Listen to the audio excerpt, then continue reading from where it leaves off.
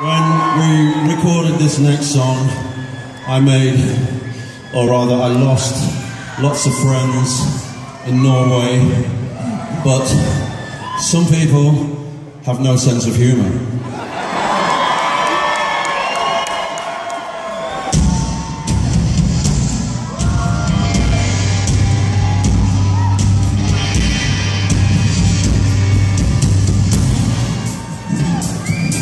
stay